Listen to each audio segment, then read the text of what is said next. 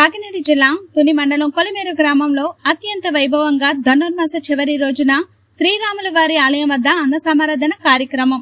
శ్రీ పాదాలమ్మ తల్లి భజన బృంద ఆధ్వర్యంలో గ్రామ సర్పంచ్ పెంటపాటి నాగలక్ష్మి సతీష్ మరియు గ్రామ పెద్దల సహకారంతో అన్న సమారాధన కార్యక్రమం నిర్వహించారు. అనంతరం మీడియాతో మాట్లాడుతూ సంక్రాంతికి ఒక నెల ముందు నుంచి ధనుర్మాసం ప్రారంభమవుతుందని సూర్యుడు ధనురాశిలో ప్రవేశించడంతో ధనుర్మాసం మొదలవుతుంది. తిరిగి సూర్యుడు మకర రాశిలోకి ప్రవేశించే సంక్రాంతి రోజుతో ధనుర్మాసం ముగుస్తుంది. ధనుర్మాసం ప్రారంభాన్ని పల్లెటూరులో సంక్రాంతి నెల పట్టడం అంటారని ఈ నెలలో ప్రతిరోజు సూర్యోదయానికి కంటే ఐదు గడియలు ముందుగా నిద్రలేచి తలస్నానం చేసి నిత్య పూజలు సంధ్యా వందనాలను ముగించి అనంతరం ధనుర్మాస వ్రతాన్ని ఆచరించే వాళ్ళమని నాలుగు సంవత్సరాల నుండి భజన కార్యక్రమాలు నిర్వహిస్తున్నామని అన్నారు. అనంతరం భజన నేర్పిన గురువు పేకేటి రామస్వామికి భజన బృందం కృతజ్ఞతలు తెలియజేశారు.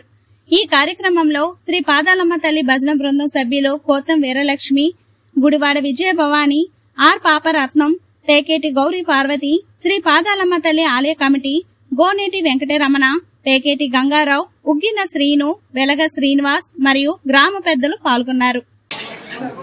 శ్రీ పాదాలమ్మ తల్లి భజన సంఘం వారు వీళ్ళంతా వీళ్ళకి ఐరారోగ్యాలు కలవజేసి ఊరంతా చల్లగా ఉండాలని చెప్పేసి వాళ్ళు కోరుకున్నది జరగాలని ఆ, దేవుణ్ణి పాదాలమ్మ తల్లి భజన సమాజం వారు ప్రతి ఒక్కరు కూడా ఈ నెలంతా కూడా ధనుర్మాసం సందర్భంగా పాల్గొని వేకుజామునే లెగిసి తెల్లవారు మూడు గంటలకల్లా లెగిసి ఆరు గంటలకల్లా ఊరంతా తిరిగి ముగించుకుని భజన సమాజం వారు అందరూ కూడా చేశారు.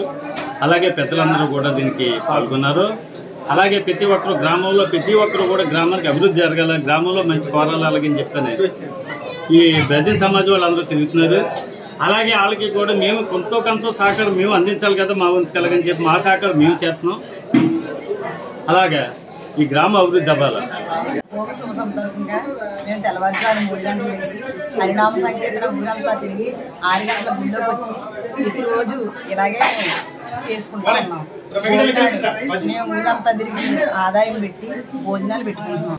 దగ్గరికి వచ్చి రాములవాడ గుడి చుట్టూ తిరిగి మూడు చుట్లు తిరిగి ఊరంతా హరినామ సంకీర్తనతోటి గుడి గుడికి తిరిగి వచ్చి ఊళ్ళో ఆరవ బోధికి వచ్చేసి ఆరవ బోధికి వచ్చేసి మళ్ళీ ఆరుకి వచ్చేసి పాదాలమ్మ తల్లి భజన బృందం గురువు గారు పేకేటి రామస్వామి గారు దగ్గరుండి ఈ ఈ- భజన బృందాన్ని ఎంతో డెవలప్మెంట్ చేసి ఇవాళ మంచి పేరు ఉన్న స్థాయిలో తీసుకెళ్ళారు కాబట్టి అలాగే ప్రతి సంవత్సరం కూడా అప్పుడు ఈ సంవత్సరంతో మూడో సంవత్సరం జరుగుతుంది ధనుర్మాసంలో.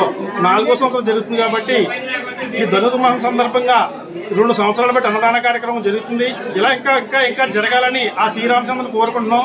అలాగే మా పేకేటి రామస్వామి గారని భజన గురువు గారు అలాగే ఈ ఆడలకు నేర్పిన గురువు గారు కూడా